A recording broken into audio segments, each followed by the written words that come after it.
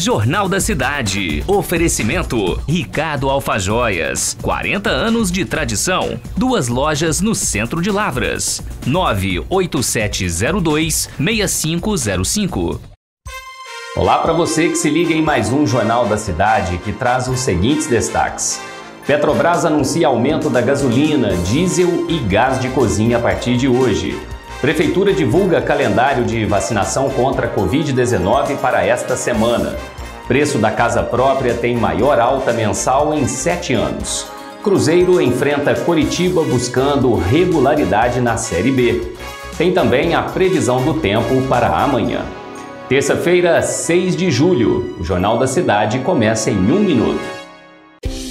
Atenção você, filho ou neto, sabia que aprender um novo idioma ajuda a prevenir doenças degenerativas, como Alzheimer? Pensando nisso, a Wizard está oferecendo um mini curso de inglês para pessoas com 60 anos ou mais, fácil e acessível a todos. E mais, com degustação, dois encontros gratuitos, presenciais ou por meio de nossa escola virtual. Mais informações 3821 2601.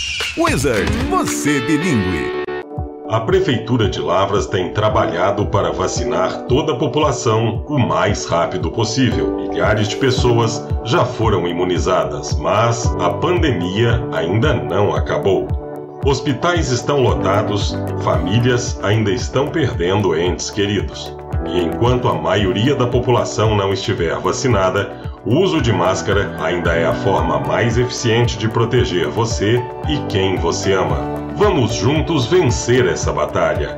Continue usando máscara.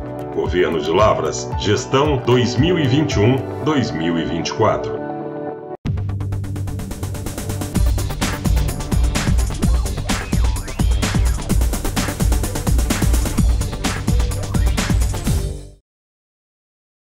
O brasileiro não tem um minuto de paz neste país. É que a Petrobras anunciou que vai subir o preço dos combustíveis mais uma vez. A partir desta terça-feira, o diesel, a gasolina e o gás de cozinha vão ficar mais caros. O reajuste da gasolina na refinaria será de 6,3% e o do diesel será de 3,7%. Já o gás de cozinha terá uma alta no preço de 6%, o que significa na distribuidora um crescimento de 20 centavos por quilo no botijão. Só neste ano, a gasolina acumula uma alta de 46%, sendo encontrada nos postos do país, inclusive aqui em Lavras, com preço superior a R$ 6,00 o litro. Já o diesel acumula alta de 40% e está com preço médio de R$ 5,89 o litro. O gás de cozinha já é vendido em boa parte do país com preços acima de 100 reais o botijão de 13 quilos. Pessoas com 51 anos completos foram vacinadas em Lavras nesta terça-feira. Amanhã, dia 7, a imunização será para quem tem 50 anos e para os trabalhadores do transporte ferroviário, das 8 às 4 e meia da tarde. Já na quinta-feira, dia 8, serão vacinadas as pessoas com 49 anos completos. A vacinação segue acontecendo no PSF 12 do bairro Jardim Glória e no PSF 17 localizado no bairro Dona Vanda.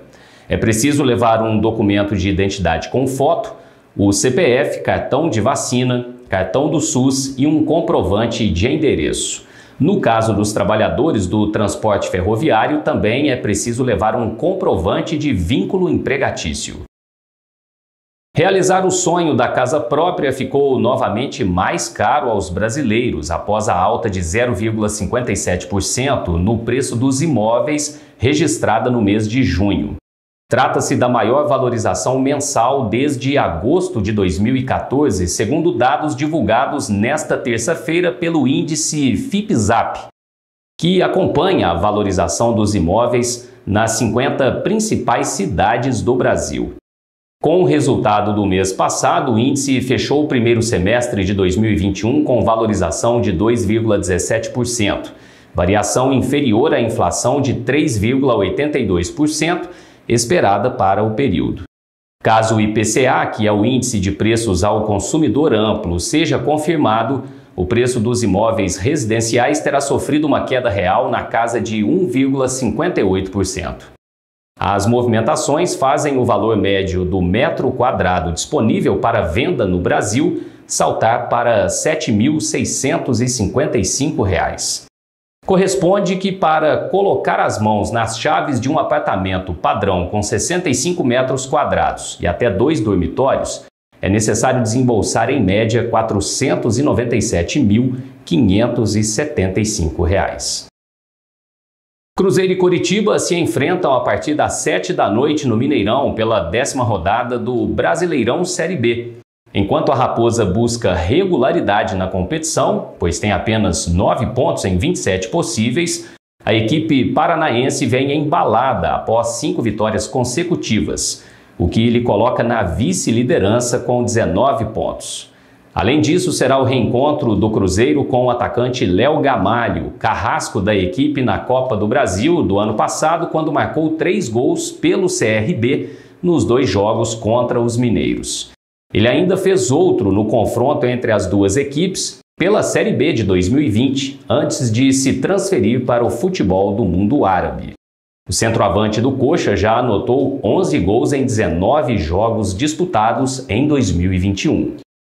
Só lembrando que o Cruzeiro vem de dois empates. 3 a 3 com o Guarani em casa e 0 a 0 diante do Brasil em Pelotas, no sul do país. E vamos agora à previsão do tempo aqui no Jornal da Cidade. Segundo informações do Instituto Clima Tempo, a quarta-feira em Lavras será de sol com algumas nuvens. Os termômetros vão variar entre a mínima de 8 graus e a máxima de 23. Não há previsão de chuva mais uma vez. Rajadas de vento a 14 km por hora e a umidade do ar fica na casa dos 31%. Bom, e assim a gente encerra o Jornal da Cidade de hoje. Para falar com a nossa produção e ajudar a gente a fazer as próximas edições, é só entrar em contato pelos canais que estão aparecendo aí na sua tela. Então por hoje é só e a gente se vê de novo amanhã. Até lá.